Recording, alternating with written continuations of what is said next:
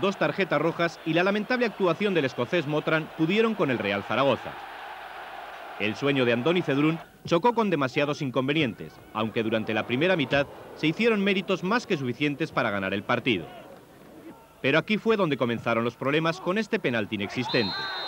Cedrún se encarga de despejar el lanzamiento de De Boer, pero en el córner siguiente Bogarde marcó de rebote.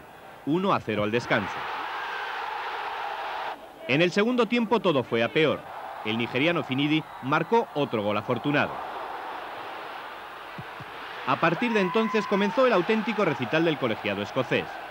Sorprendentemente, Andoni Cedrún, que volvió a la titularidad, tuvo que abandonar el terreno de juego.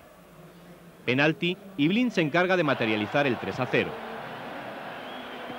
Apenas tres minutos después, el turno fue para Oscar. Tercer penalti y segundo jugador expulsado. Blin vuelve a marcar y el Ajax, especialmente protegido por la UEFA, consigue el Gran Slam, o lo que es lo mismo, ganar en una temporada la Copa de Europa, la Intercontinental y la Supercopa.